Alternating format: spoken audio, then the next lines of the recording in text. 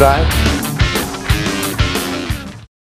แยกขยะก่อนทิ้ง สร้างรอยยิ้มให้ชุมชน กับโครงการแยกแลกยิ้มที่ปั๊มปตทและ w w w แยกแลกยิ้ม .com กลับมาถึงช่วงนี้นะครับ เราจะมาพูดคุยกันถึงเรื่องของการทำรถนะฮะกับพาร์ท Liberty Walk นี่แหละครับผมอาเดี๋ยวมาถามพี่ดีกว่าสำหรับจุดเริ่มต้น คันแรกนั่นคือ GTR นั่นเองครับนะฮะเป็นมายังไงพอคุยกับคาโต้หลังจาก Auto Salon เสร็จครับคันนี้คือคันแรกเลย ใช่ครับ มีการพูดคุยการส่ง part การติดตั้งอะไรอย่างนี้พี่ลองเล่าให้ฟังหน่อยก่อนก็คือคันแรกพาร์ Liberty Walk เนี่ยมันไม่ใช่ part ที่อ่าเอามาติดตั้งแล้วก็ออกไปเลย มันต้องมีการดัดแปลงตัวถังรถอยู่แล้ว อ่าครับ ฉะนั้นการที่เราไม่มีรถรถโชต้นว์ รถรถต้นแบบเนี่ยอ่าเพื่อทำออกไปแล้วให้ให้เขาให้คนเห็นเห็นว่าวิธีการทำเป็นยังไงครับทำออกมาแล้วสวยได้ขนาดไหนเนี่ยมันก็จะไปยากเหมือนกัน อ่าจริงก็เลยคุยกัน นิวเนี่ยเขาก็มีรถอยู่แล้วครับเขาบอกพี่เอาอย่างนี้ ถ้าพี่อยากได้รถต้นแบบเดี๋ยวผมจัดให้ คือคือจริง ๆ แล้วเนี่ยผมเมื่อก่อนเนี่ยผมติดใจในรถประเภทพวก NA มาก ไม่ยอมขับรถเทอร์โบขับสีรู้สึกว่ามันขี้โกง ใครขับก็เร็วโอเคยายผมตาบอดข้างหนึ่งขับก็เร็วครับเพราะว่ากันอย่างนี้รถฝรั่งแต่ว่าพี่ยายผมตกลงที่เราตาบอดเหรอเหมือนไม่ไม่ไม่ไม่แต่ถ้ายายผมมาขับเร็วกว่าพี่แน่นอนไปเลยพอมาเห็นชุด Liberty Walk เนี่ยก็รู้สึกว่าเฮ้ยมันมันโดนมากอะมันมันมันสะบัด ความความเรียบความความติ่มทุกอย่างออกไปหมดเลยมันมันมันดูเรียกว่าไงมันดูเลเบลมากมันดูกระบฏมาก ผมอ่าเลยชอบมากก็เลยตัดใจเพื่ขายทีของมรัก อ๋อเหรอลองฮะ ขายของรัก อ๋อคือขายคันนั้นเลขายย ขายไปขายไปเลยถูกมากลงขายไปวันเดียว มีคนหิ้วเงินสดใส่ถุงกระดาษเนี่ยมาวางให้ผมบอกว่าเอาวางไว้ก่อนนะ เออ แล้วผมว่าเอาโอเคเยี่ยมเอาเงินมาจากไหนวะเนี่ย โอเคก็ขายขายก็ขายว่าอาทิตย์ถัดไปก็ไล่หาเจ็ดเลยวันจริงๆก็นะไปเอา GTR กลับมาภายใน 7 วันเพื่อจะมาเริ่มโปรเพื่เจอกต์ทำตรงนี้นี้ครับใช่ครับ แล้วก็ได้มาปั๊บ พอได้พอได้เอ่อได้รถ GTR มาปุ๊บผมก็เริ่มสั่งของเลยครับล้อต้องเป็นอย่างนี้ ก็คือสเปคก็จะมีอยู่แล้ว มันก็จะมี CI ของมันว่าล้อต้องเป็นอย่างนี้part ต้องเป็นอย่างนี้ ท่อต้องเป็นอย่างนี้แล้วก็พอ part ทุกอย่างมาถึงเสร็จเนี่ยผมก็ส่ง part ไปทำสีก่อน แล้วก็หลังจากหลังจากนั้นเนี่ยผมก็จะค้นคว้าดูผมก็คุยกับทางญี่ปุ่นว่าโอเค เก็บงานยังไงตัดยังไงให้มันเรียบร้อย คือตัวเราเป็นคนทำหมดเลย ไม่ใช่ว่าได้ครับ ไม่มีญี่ปุ่นเลยไม่มีทีมญี่ปุ่น ตอนแรกเรากะจะให้ญี่ปุ่นมาทำให้แต่เขาเขามีราคาด้วยส่วนหนึ่ง อีกส่วนหนึ่งก็คือคิวเขาค่อนข้างเต็มเพราะคาโต้ค่อนข้างดังมากครับเขาจะบินไปทั่วโลกตลอด ผมก็โอ้โหรออีกสามเดือนไม่หไหวมายคแล้วาวมว่าหลายหลายประเทศก็จ้างคาโต้มาทำเองเลย คือคาโต้เขาจะเขาจะสไตล์ เปิดตัวโชว์ตัวซะมากกว่าอ๋อ ทำจะมีบ้างแต่ส่วนมาก เดี๋ยวก็ไปอเมริกา เดี๋ยวก็ไปงานมอเตอร์โชว์เดี๋ยวก็ไปเยอรมนีอ๋อคือเน้นเป็นโชว์ตัวไปใช่ โปรโมทใช่ เรื่องของใช่ปล่อยวาง แบรนด์ของเขา คิวคิวเขาจะแน่นมากก็เลยคุยกันเฮ้ยทำเองเลยละกันช่างเราเนี่ยที่เราที่เราทำด้วยเนี่ยมีฝีมือใช้ได้เหมือนกัน ครับก็คือเราก็เลยตัดสินใจทำเองอ๋อครับซึ่งตอนนั้นยังไม่มีอู่ก็คือทำที่บ้านโอ๊ตครับก็คือจัดทีม production ทำอะไรเรียบร้อยถ่ายถ่ายขั้นตอนถ่ายการถ่ายทำทำมีไว้ทั้งเลย รูปมีทั้งวิดีโอหมดทุกอย่าง อ่า นี่คือสิ่งสำคัญเลยที่ครับหลาย ๆ อู่ไม่ได้ทำเหมือนเรา ครับเพราะว่าของเราคือมีการเริ่มต้นทำรถด้วย แล้วก็ครับมีทีม production ที่เก็บภาพครับ การขั้นตอนการทำครับผม เพื่อเอาภาพเหล่านั้นมาให้ลูกค้าดูด้วยผม ด้วยครับครับคือมันก็เป็นสิ่งที่เราต้องการด้วยหมายถึงว่าในในจุดเริ่มต้นเนี่ยที่เราทำเรื่องนี้จริงๆมันคือเป็นความชอบล้วนๆสนุกคือเราอ๋อทำรถอยู่ที่บ้านกินนอนด้วยกันแบบว่าเอ่อว่ายน้ำด้วยอ่าๆ ปิ้งบาร์บีคิวกินกันเป็นช่วงเป็นช่วงเวลาที่ดีครับ ใช่แล้วค่อยๆศึกษาการทำรถเนี่ยไปเรื่อยๆ ครับครับ ขั้นตอนการทำการติดตั้ง part เนี่ยมันใช้เวลายังไงแล้วก็ยากง่ายขนาดไหนดีกว่าคือสมมติถ้าเป็น GTR เนี่ยเอา ทำสี GT เสร็จเอา เนี่ย GTR ก่อนเลยเมื่อกี้ครับหลังจากส่ง part ไปทำสีเสร็จแล้วขงครับ ของมาแล้วยังไงต่อบ้างอะ พอพอเอ่อทำสีเสร็จเนี่ยรถมาจอดอยู่ที่ทำเนี่ยใช้เวลาประมาณ 3 วันติดตั้งอืมนะครับทั้งดัดแปลงตัวถังติด part ทุกอย่าง ครับติดขอบยางทุกอย่างเนี่ยออกมากริบเรียบร้อยเนี่ยใช้เวลาประมาณ 3 วันครับ ใส่ท่ออีก 2 วัน อืมแล้วก็เอ่อใส่ช่วงล่างอีก 2 วันครับ ครับผมก็ล้อก็แป๊บเดียวก็เสร็จเพราะ fitment มันได้อ๋อ ภายใน 7 วันก็คือรถวิ่งได้เลย คือสเปคมันมีการให้มาแล้วว่าใช่ต้องครับล้อเท่านี้ออฟเซ็ตเท่านี้ครับผม spacer อย่างที่บอกคือต้องใช่ไม่รองแน่นอน ครับผมเลยเป็นล้อ custom คืพิอเศษตอนแรกก็ลุ้นเหมือนกัน เพราะว่าพอใส่ล้อเข้าไปเริ่มรู้สึกแบบเฮ้ย มันมันมันมัน ปริ่มปริ่มแบบใหญ่พอดีคือยังไม่ได้ใส่โป่งใช่ไหมคือใส่แต่ล้อเข้าใส่ไปก่อนใส่ทุกอย่างทุกอย่างใส่ไปแล้วแต่ยังไม่ใช่ไม่ไม่แล้วลงก็ลงพอใส่ล้อเสร็จก็อ๋อเริ่มเล็งแล้วกดลงไปจะลงได้ไหมมันจะเนี่ยมันจะพ้นไหมจะแท็กไหมเนี่เนี่ย เนี่ยพอลงไปปุ๊บโอ้โหเอากระดาษเสียบปิดเลยคือใช่เป๊ะ ได้กระดาษแผ่นเดียวเสียบเข้าไป คือหมายความว่าล้อเดี๋ยวนะฮะ Liberty Walk คือมีเฉพาะ part ใช่ไหมฮะใช่ครับ ล้อแล้วก็ช่วงล่างแล้วก็ท่อที่บอกนี่คือครับเราสั่งแยกเป็นแต่ว่า partner แต่เป็น partner กันมีการบอกสเปคมาแล้วใช่ครับจากทาง Liberty Walk ว่าใช่ครับ ประมาณนี้ประมาณนี้ครับผม เพื่อให้ได้ภาพแบบนี้รถที่กองแล้วก็พวก fitment อะไรทั้งหมดเนี่ยพอดี ครับครับนั่นคือคันแรกใช่ ใช้เวลาร่วมๆประมาณเท่าไหร่นะ ประมาณ 7 วันครับเจ็ดวัน ครับเจ็ดวันได้เลยเจ็ดวันมันเป็นปุ๊บกันนั้นเลย ให้คนมาติดสติ๊กเกอร์เอาไปวิ่งถ่ายรูปเลยใช่โอ้โหก็อย่างที่เราเห็นกันไปใช่ครับภาพสวยๆต่างๆครับนะฮะนี่คือความชอบของเราด้วยแหละ ครับ ที่ทำออกมานั่นคือคันแรกเป็นรถของคุณนิว ครับคันที่ 2 อันนี้ก็ถือว่า โอ้โห จาก GTR ครับ เปลี่ยนมาเป็นอเวน a ดอร์ใช่ครับโอ้โหอันนี้คือหลายๆ คนคงเคยเห็นกันแล้วแหละกับครับ part ของ Liberty Walk ครับแวบเป็นยังไงบ้างครับ พอมาเป็นคันที่ 2 แล้วเป็นอเวน a ดอร์เลย คัน คันนั้นคันนั้นก็งานงานช้าเหมือนกัน เพราะว่าเรื่องสีเรื่องอะไรหลายอย่าง เพราะว่าคันนั้นเป็นสีด้านด้วย ครับ แล้วก็ๆพ่นเสร็จแล้วมันขัดไม่ได้ครับ คือถ้ามันเป็นอะเป็นละอองฝุ่นบนเนื้อสีเนี่ยต้องล้างใหต้ม่องล้างแล้วก็อย่พ่นใหม่อย่างเดียวคือใช่ครับคือถ้าเผื่อมีละอองจุดเดียวเนี่ยเริ่มใหม่เริ่มใหม่เริ่มใหม่จนกว่าจะใช่อ่าครับแล้วก็รถเนี่ยแทบจะรื้อทั้งคันเลยเหลือแต่ฝากระโปรงกับหลังคาที่ไม่ถอดใช่เรารื้อทั้งคันเลยแล้วโครงเลยครับครับที่ที่เหตุที่ต้องรื้อขนาดนี้เนี่ยเพราะว่าตัวชุด part เนี่ย ของตัว Aventador เนี่ยมันจะมีโป่งหน้ากับหลังเนี่ยของเดิมเดิมที่ที่มากับรถด้วยอ่าในชุดด้วยแต่ว่าเขาจะปาดซุ้มล้อมาให้แล้วครับสำหรับคือแบบลูกค้าที่ไม่อยากที่จะปาดซุ้มล้อคือหมายสำหรัว่าบรถที่ราคาแพงของขเดินาดมเนี่ยนี้ยังเก็บไว้ เก็บไปเลยเราก็บไปมีลยใส่ให้ใหม่ถ้าเลยวันหนึงอยากจะทำกลับเป็นรถเดิมทำได้เลย แต่ว่าเฉพาะรุ่นนี้เพราะว่ามันเป็นรถคล้ายๆ เป็นเหมือนพวกมัน space frame กึ่งๆครับซึ่งซึ่งแบบเอา part มาประกอบเข้ากับตัวตัวชัตตีของมันครับผม ใช่ก็เลยมีความยากในการที่เราต้องรื้อรื้อเกลี้ยงทั้งคันอ่าไล่งานใหม่ทั้งหมดประกอบของเดิมเข้าก่อนที่มีการปาดซุ้มแล้วค่อยติดตั้งลายฟิตเมนต์ต่างๆ ของตัวโป่งนะครับใช่อ๋อคือหมายความว่าถ้าเป็นตัว GTR เนี่ยใช้โป่งเดิมแล้วเราปาดเราปาดออกเราค่อยใส่ใช่ครับ Liberty ใช่ครับเข้าไปแต่เอาเป็นทดอนี่เขามีพิเศษพิเศษหน่อยก็เป็นโป่งมาให้เลยปาดมาให้เรียบร้อยแล้วครับแล้วก็โป่งของ Liberty ครับเพิ่มเข้ามาอีกคือจริง ๆ ถามว่ารถทุกคันทำเดิมได้ไหมก็คือทำเดิมได้แล้วแต่ว่าความยากความง่าย อย่างเช่นถ้าหลังคาแข็งเนี่ยมันต้องล้อตะเข็บครับตรงเสาหลังออก แต่ถ้าเผื่ออย่างเป็นคันเนี้ยฮะไอ E93 เนี่ยอยากจะเห็นว่าชิ้นหน้ากับชิ้นหลังเนี่ยมันไม่ได้ยึดกับหลังคาฉะนั้นถ้าเผื่อลูกค้ามาติดเนี่ยก็คือซื้อผ้าโรงงานมาแล้วเปลี่ยนกลับก็คือเหมือนเดิม อ๋ออะเดี๋ยวนะฮะเนี่ย หมายถึงว่าโป่งเนี่ยชิ้นนี้ครับ ครับ อ๋อมันไม่ได้ติดกับตะเข็บใช่ ก็เปลี่ยนได้เลยแต่ถ้าใช่ครับ เป็นหลังคาแข็งเนี่ยมันจะติดกับใช่ตัวบติดนกับอันนี้เป็นงานก็จะเริ่มยากแล้วองสมล้อมติตะข็บถ้าเราออกตัด ถ้าเราตัดคือก็ตัดทิ้งเลยใช่ครับแต่ถ้าจะเปลี่ยนทีก็ต้องเลาะทั้งตะใช่เข็บครับเลก็ยต้องล้อตะเข็บออกมาแล้วก็สั่งของโรงงานแล้วใส่กลับเข้าไปอันนี้คือในกรณีที่ซ่อมแบบอยากให้เหมือนเดิมร้อยเปอร์เซ็นต์แต่ถ้าถ้าแบบซ่อมแบบธรรมดาคือเอาจากชิ้นเดิมที่ตัดเนี่ยเก็บเอาไว้ค่อยๆเชื่อมโป๊วทำสีปกติอืมใช่ก็ได้เหมือนกัน ได้กัเหมือนกันครับ อะกลับมาที่ Aventador มันมีกี่ชิ้นครับ part ชุดของ Aventador part คันนั้นมีอยู่ประมาณ 45 ชิ้นฮะ45แล้วคันนี้เริ่มต้นทำกันใช้เวลานานน้อยขนาดไหน Aventador ใช่ไหมใช่ฮะ Aventador ค่อนข้างใช้เวลานานเพราะว่าสีมันมันใช้เวลานานยากมาก ครับ แล้วก็ต้อง fitting ตัวโป่งของเดิมที่แกะ ออกมาแล้วก็ประกอบอันที่ที่มาแทนด้วยครับ อ่าแล้วก็เรื่องของพวกมันอะเซนเซอร์ของมันเนี่ยเยอะเพราะมันเป็นเป็นพวกซูเปอร์คาร์ที่อ่าครับ ทุกคนคงรู้ว่ามันมาไฮเทคมากมันจะมีจุดเซนเซอร์จุดยุ่งจุดยึดเนี่ยเราก็ต้องประกอบกลับให้มันได้เหมือนรถเดิมของพวกผมโรงงานนี่คือความยากความแล้วคิดแล้วสีที่บอกคือมันเป็นสีจากโรงงานเรา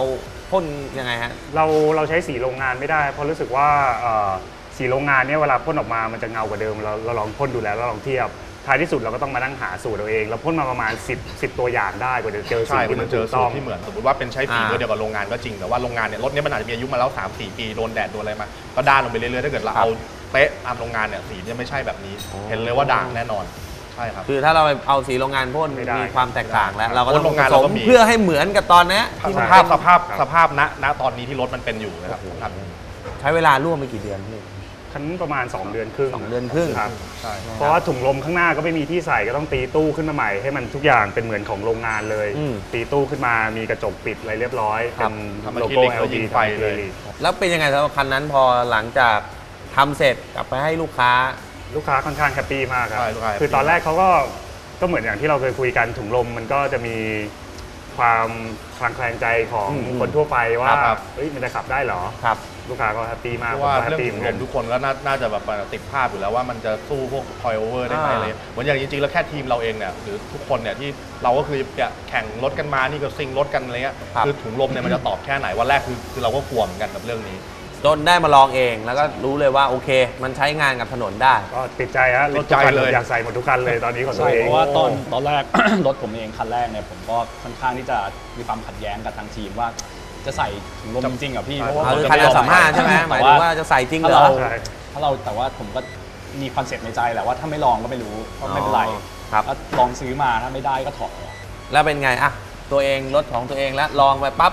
feeling การขับเป็นยังไงบ้างฮะก็ซัดซัดเต็มที่เหมือนตอนทอยโอเวอร์ครับ หลุดก็หลุด แต่มันไม่หลุดเลยนะ อ่า คือแต่ว่าก็ก็ซัดกันจน skirt ข้างเบียดถนนไปเลยล่ะ นี่คือสาเหตุที่รถถึงได้ทำสีบ่อย เพราะเจ้าคขรับขับอย่างนี้นี่เองใช่ใช่ไหมฮะอ๋อนั่นคือคันคันของคุณคุณนิวคันแรก ครับมาคันที่สองนี่คือเป็นครับ ของลูกค้าครับผม นะฮะ นั่นคือเป็นคันแรกที่แบบเป็นของลูกค้าเลยใช่ครับ พอมาถึงคันนี้ครับ เจ้า BM คันนี้ ครับ เป็นยังไงบ้างพวก part ต่างคันนี้ค่อนข้างจะใช้เวลานานมาก เพราะว่าตัวรถเดิมของจริงๆเนี่ยครับมันไม่ใช่มันไม่ใช่ตัวรถของ M3 E92 อืมเพราะฉะนั้นพวก part พวกโป่งเนี่ยมิติมันจะยังไม่ได้ เพราะฉะนั้นก็คือต้องมานั่งปั้นกันใหม่ต้องรอล้อมาก่อนอ่าแล้วก็เราก็จะหาดูได้ว่าต้องตี body ออกมาเท่าไหร่ครับ ที่มันจะได้เท่านั้น ถ้า M3 มาถึงก็คือใส่เลยเป๊ะเลยใส่ได้เหมือนเลพวก ย GDR ไม่ต่างกันเลยๆอ๋อแต่ว่านี่แต่ว่าเป็นคันนี้การที่มันมีการปรับเปลี่ยนเออใช่มันเป็น ตัวเปิดทุน ครับ ซึ่งเปิดประทุนเนี่ยในโลกมีอยู่ไม่กี่คัน ผมเคยเห็นแค่คันเดียวอีกคันหนึ่งและคันนี้ part มีทั้งหมดกี่ชิ้นเนี่ยคันนี้ part นี้คันนี้ part ไม่เยอะครับ ผมว่าประมาณ 10 กว่าชิ้นได้ สิบกว่าชิ้นสิบกว่าชิ้นได้เองอืมก็จะมีโป่งหลักๆแล้วใช่ครับ โป่งซ้ายโป่งขวา มีกันชนหน้าด้วยไหม ใช่เอ่อกันชนหน้าไม่มีครับ ใช่มีครับ ลินหน้า มีมีลิ้นหน้าครับมีอะไรบ้างพี่ลองเล่าให้ฟังอ่ามี diffuser ซ้ายขวาข้างหลัง ครับ แล้วก็มีหางหลัง ตูดเป็ดครับ อืมแล้วก็มีตัวยึดไอ้พวกลิ้นหน้าอะไรเงี้ยครับ มีครับ ซ้ายขวาสองชิ้น อืมเอาก็คือก็มีมาให้ด้วยมีมาให้ด้วยครับมีมีขอบยางมีน็อตมีอะไรให้มาหมดเลยครับอ๋อคันนี้ก็ใช้เวลาวันนี้คันนี้ครับคันนี้ประมาณสามเดือนสองสามเดือนได้สองสามครับเดือนเอามาถึงรก็นานขงอ๋อเพด้วยราะว่ามันก็ต้องมีการเล็งใช่การปรับใช่เปลี่ยนต่างๆรอเพราะว่าไม่ตรงรุ่นของรถด้วยนของงานด้วยเจ้าของเขาต้องการอะไรบ้างวะนอกเหนือจากเรื่องของ part Liberty Walk fitment ต่างๆ มีอะไรที่เป็นความต้องการของลูกค้าบ้างดีกว่า อ่าคันนี้คันนี้ค่อนข้างจบแล้วฮะลูกค้าค่อนข้างจะ happy อืม เพราะว่าเครื่องเขาก็ไปทำมาแล้ว เครื่องนี้เป็นเครื่องไปทำเครื่องมาก่อนแล้วเครื่องก็ทำแล้วด้วย เครื่อง335อ่า ครับใส่เทอร์โบ ช่วงล่างเป็นยังไงบ้างพอลูกค้าได้มาลองกับ ช่วงล่างก็โดยโดยสรีระของ E93 เนี่ยข้างหลังมันจะค่อนข้างหนักอยู่แล้วครับ ครับ มันก็เลยจะจะรู้สึกช้าๆกว่าเอ่อ E92 ซะหน่อยหนึ่งแต่อืมทั่วไปแล้วเนี่ยลูกค้าค่อนข้างแฮปปี้มากชอบมาก ขับไปขับไปวันแรกโทรมาบอกว่าแฟนยังบอกว่าสวยเลยเออจริงๆแล้วลูกค้าเนี่ยลูกค้ามีความสุขมากเขแต่แฟนบอกว่าเขเกืไม่ได้สวยเนี่ยทำรถคันนี้แล้วเพราะว่าเขามีโปรเจกต์ว่าจะขยับรถรุ่นนี้ปรากฏว่าแฟนเขาเห็นรูปอ่าเห็นอะไรบอกว่าคันนี้สวยต้องทำเจ้าของรถก็เลยได้แฟนบอกทำอยากได้แบบนี้ใช่ก็ดีเลยจริงๆเจ้าของรถก็อยากทำแต่ว่าเอ้ยไม่รู้จะยังไงแฟนเราจะยังไงแต่ปรากฏว่าแฟนเขาโอเคครับชอบอืมนะฮะ ผู้ชายทุกคนการแต่งรถอก็ยากต้องได้ขึ้นอยู่กับแฟแฟนนแบแบบบนี้นี้ด้วยนะฮะหลายคนคงอยากได้แบบนี้ ใช่ ถ้าเบื่อขอ Liberty Wall เนี่ยผมมั่นใจเลยว่าแฟนให้ทุกคนครับ เออเอาไม่เชื่อลองดูโอ้โหฮาร์ดที่ทำออกมาให้รถเนี่ยครับมีทั้งหมดประมาณกี่รุ่นแล้ว โอ้ผมว่า 20 น่าจะถึงแล้ว 20 ครับผมฮะตอนนี้มี a v e n t a d o r อืมมีอืม458 มี Audi A5 S5 Murcielago Murcielago มี Maserati โอ้ตัด4 M3 M4 เออ แล้วก็มินิมินิ ครับ แล้วก็มี GTR มีซีรีส์ 4 M4